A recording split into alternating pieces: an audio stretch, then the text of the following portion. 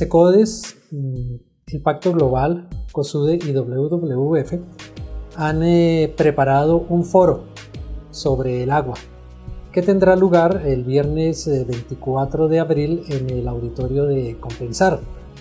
Este foro va de 7.30 de la mañana hasta las 12.30. Esperamos que nos acompañen. Eh, los temas que se van a tratar están relacionados con iniciativas y herramientas para la gestión del agua. El Pacto Global nos hablará de su iniciativa de el mandato del agua.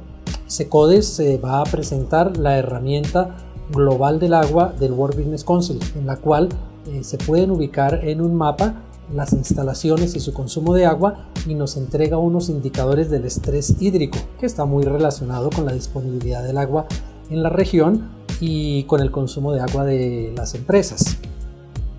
Eh, WWF nos va a hablar del eh, Water Stewardship y eh, los señores de COSUDE van a presentar algo muy novedoso, un videojuego para Android en el cual nos muestra los efectos de utilizar inadecuadamente el agua o de afectar el medio ambiente en los páramos y sigue todo el recorrido del agua desde su nacimiento hasta que llega al mar.